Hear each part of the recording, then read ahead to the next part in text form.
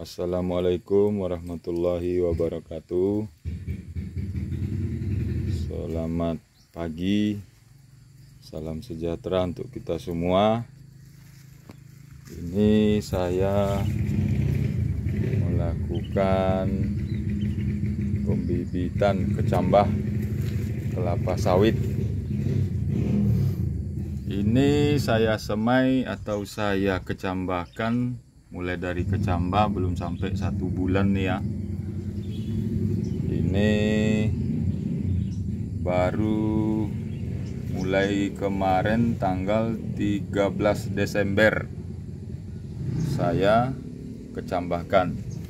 Berarti tanggal 13 Januari nanti baru satu bulan. Nah ini pertumbuhannya. Sangat bagus ini. Kemarin pada saat saya akan melakukan penyemaian atau mengecambahkannya saya menggunakan pupuk eco farming slow release. Sudah hampir satu bulan jadi sekarang saya juga akan memupukkan kembali kepada terhadap kecambah kecambah sawit ini dengan menggunakan pupuk eco farming slow release nah ini dia pupuknya. Karena dia masih kecil kita akan menaburkan saja. Jadi tidak perlu kita tanamkan kecuali sawit sudah kita lakukan penanaman di media tanah yang luas atau di kebun.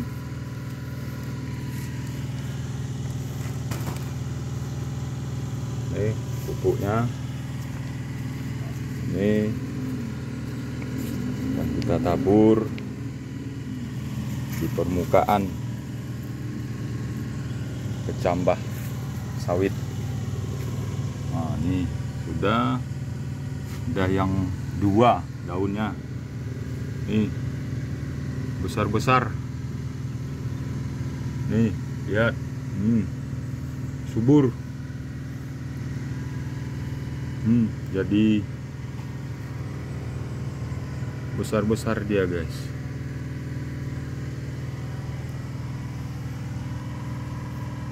Ternyata bisa juga kita gunakan untuk pembibitan untuk kecambah.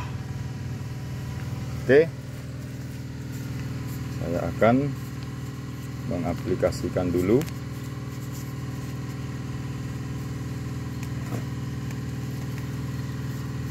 Pupuk eco farming slow release. Karena ini organik. Awalnya saya juga coba-coba apakah ini bisa untuk kecambah. Apakah menyebabkan kecambah kita mati. Ternyata rupanya malah tambah subur oke.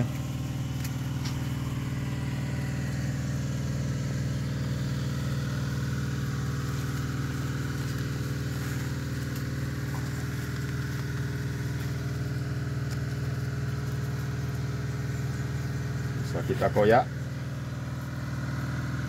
Karena ini bungkusnya hanya menggunakan kertas. Jadi bisa kita tabur ya. Kemarin saya sebelum ya, hanya menabur seperti ini juga guys. Saudara-saudara saya taburkan di permukaan. Tapi kalau ini tidak karena ini bahan organik pupuk organik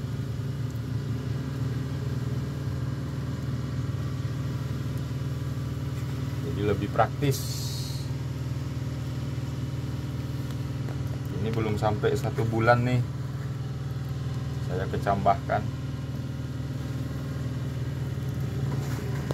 Nanti kita lihat lagi perkembangannya satu bulan ke depan. Sudah seperti apa dan sebesar apa. Ini cukup. Kita tabur begini saja kemarin pun saya tabur begini juga. Pada saat saya mengecambahkan kecambah sawit ini.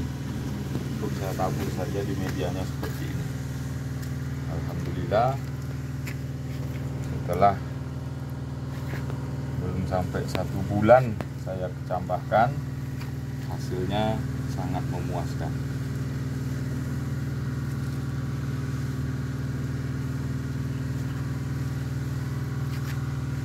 oke.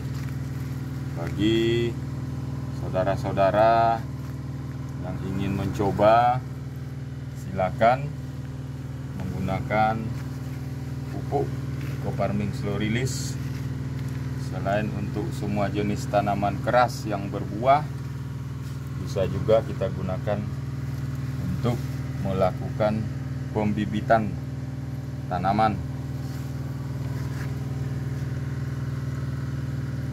jenis tanaman keras berbatang keras yang berbuah.